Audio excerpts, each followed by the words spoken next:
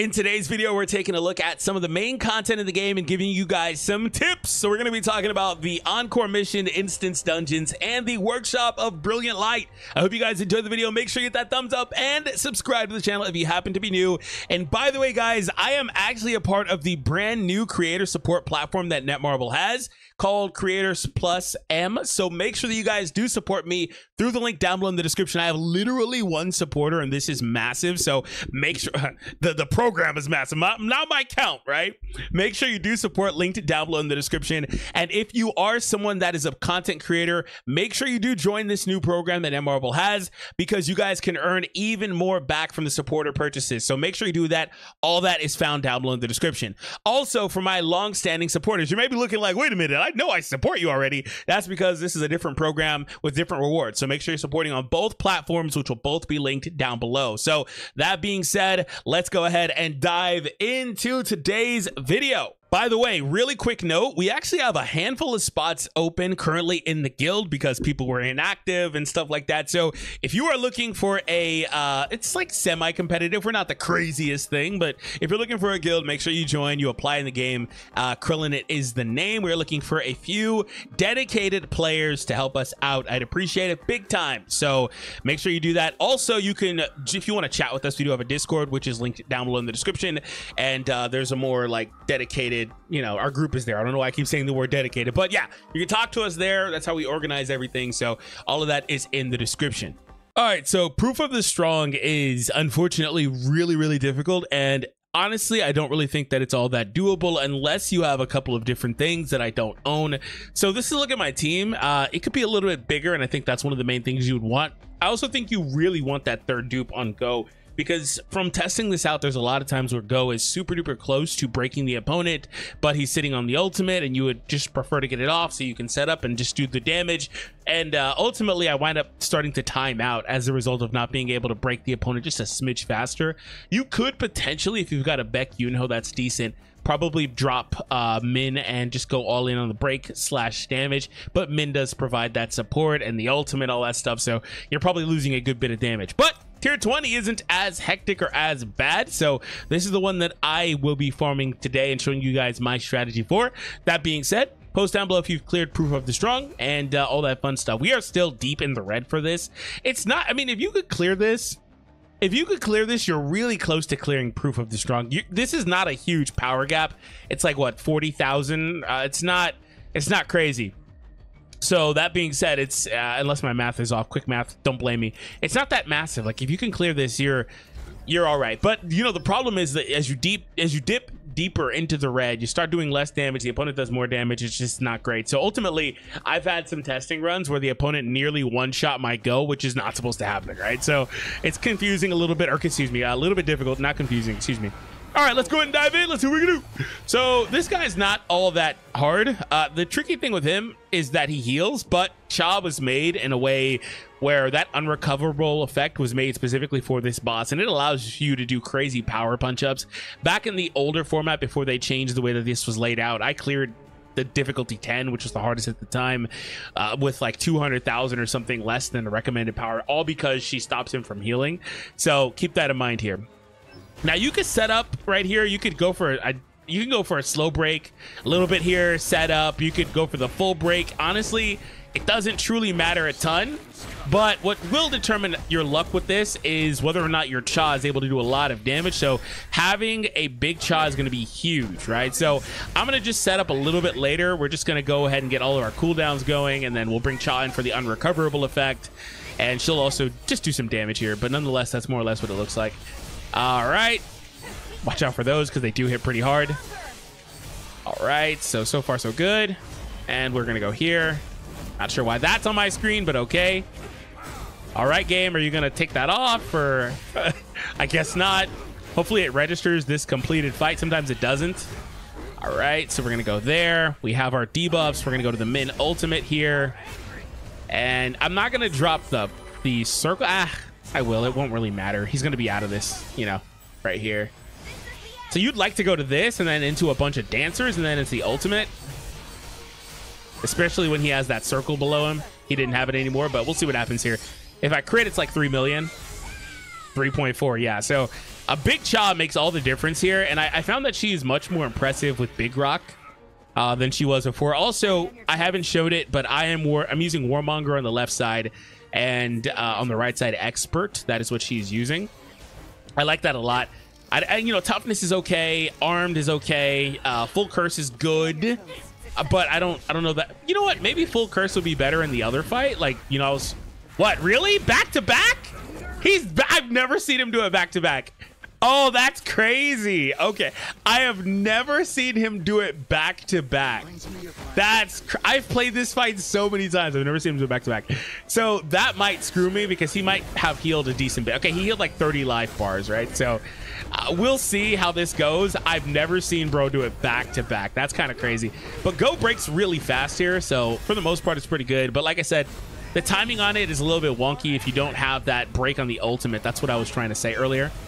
All right, so I'm not going to get the time limit thing because he's he did the heal, so it ruined the setup. But I'm going to get him here. I'm going to get another ultimate, and we're going to win. Okay. I've had him. I've, I've literally had situations where I've, I pressed this button and he just went up in the sky to heal again. So, like, that, again, proof of the strong is harder, but clearing that, Cha makes it doable. And like I said, that was just for context, I have a big Cha now. I mean, she's been in the game since literally launch day and global launch, so it's not like she's a new character. But that being said, she is still putting up good numbers. Go made her much better. But I was having performance like that out of Cha in terms of her beating that boss nearly single handedly when she first came out and I had one dupe in her. Literally one dupe. She was beating the top difficulty, and that is what she was made for. She was made for that fight with that effect. So she just runs over this entire fight, and she is the most important character to have here. For context, you do not need Go. You can run Baek Yoonho if you've got him built up, and uh, you would be successful as well. You just need the break. In fact, you could argue, you could argue, like I was talking about earlier, Baek is actually a good character because the defense down. You get it from from uh, the shadow, but you don't really have it anywhere else. That's kind of the problem with a lot of these non-Jinwoo hunters is they can't readily apply defense down all that often. So Baek is still pretty strong for that. Anyway, moving on. Uh, let's see what we can do in some other content. This was Encore, right? Let's do instance. Oh, wait a minute. So speaking of Warmonger, what did I get here? Attack. Ooh, double attack. Double HP too? This one's pretty versatile, isn't it? This is a good piece. I like this piece a lot. You'd rather have like crit rate, but I like this. I like this piece a lot. Uh, destroyer, I'm not really looking for any destroyer. Solid foundation, not looking for that. Uh, I'm pretty set on those. Solid analysis at toughness armor. Eh. Noble sacrifice. Blech. So nothing really here except for that uh, piece. Let me see that Warmonger helmet. Oh yeah, this is the one I was looking at. Never mind. Whoops. All right, let's see what we can do with the next one.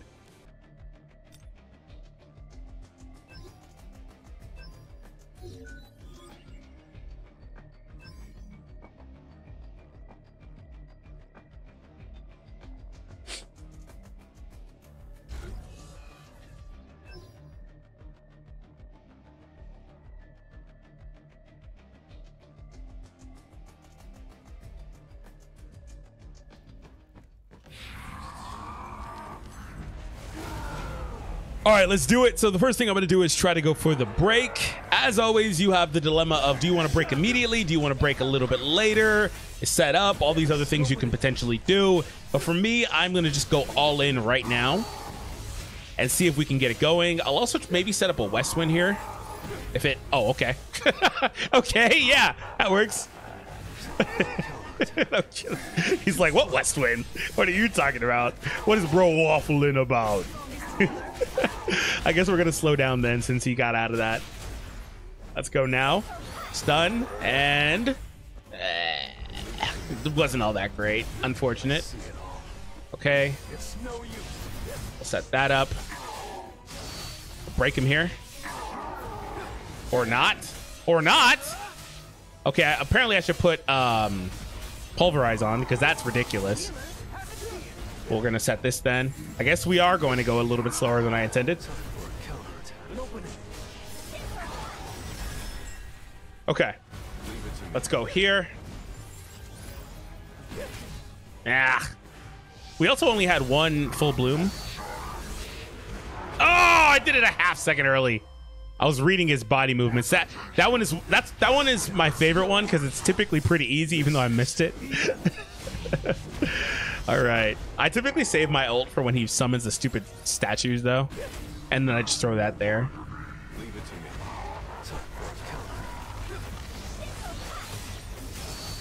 Get out of that range. I love her stun. It's so useful.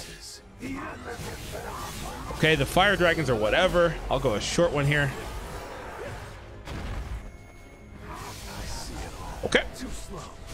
So right here, I'm all out of MP though because I've got the um, skill on to increase my damage but reduce my MP. What the? Dude, why did Jinwoo start stalling there? What the heck? That was weird. Okay, let's go for this. Uh, he's taking a long time to do his... Oh, there it is. I was like, dude, where's the power of fire crap? He was taking a long time to do it. This one's going to be a little bit close because he took so long to do it. Hopefully this hits all three. It typically does. And it missed one. Great. Just what I needed. Just what I needed. Okay, it's fine. Yeah, it's fine. That's why I have that on because it's a failsafe. Oh, okay. Yeah, they're gonna hit me. They're gonna hit me when I'm supposed to be invincible. Nice. Ah. Let's run it back. Let's run it back. That one. That one just took too long. He's, he took too long to set it up. Otherwise, I would have been fine. But yeah, my strategy typically is that, and it works most of the time. Especially if you get that third one. It's supposed to be a part of the ultimate. I like to do it towards the middle, but you got to be really specific about where you do it from because you will miss one on either side if you don't do it at the right spot. Okay, that's fine. I took that gamble just to get a little bit more break. Oh, also, that's what ruined that last run too, huh? This one started okay, but then he dodged that west wind and it ruined everything. There's the dodge, okay. Uh, you gonna jump or fire? Okay, jump. It's no use.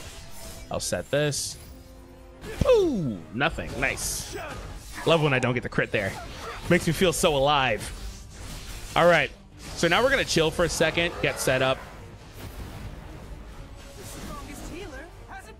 Okay. I want to get my Y skill back. That looked nice. That was a cool animation. That was a cool animation. I got to say it. I got to say it. That looked cool. All right. Let's see if we can get this. Yeah. I also meant to set up another amplifying, but it's all good. That time I got that one on time. Okay. Agony. Harmony acceleration! Ah! We hit each other at the same time. I forget you can't do that one to 100%. You gotta let it go if you do what I did. All right. I'm still above 40, right? That must be the threshold for this one. Levitation, harmony, acceleration. All right. I want to do the summons here, actually. Hit them, not me. Thanks. Yeah, hit the minions. Fire dragon, okay. Yeah, Igris, I appreciate you, my guy. I see you doing that bleed. Okay. He's going to do it right here, right? Bro's got to do it right here, right? There it is. Okay. Let's see if I get all three this time. Let's try. If not, I'm to have to go straight into a west wind. I'm a little bit low on time. Ah! What? You're kidding me. You are kidding me. Wow, dude. You're kidding me. It's a waste of time. That's, there's nothing I can do there. It's just a waste of time. You're kidding me. I hit one. Dude, that's brutal. We may still get this. If I get some crits.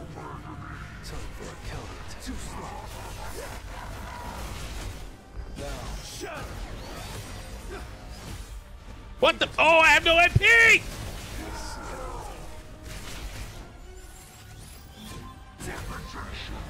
Oh, you're kidding me.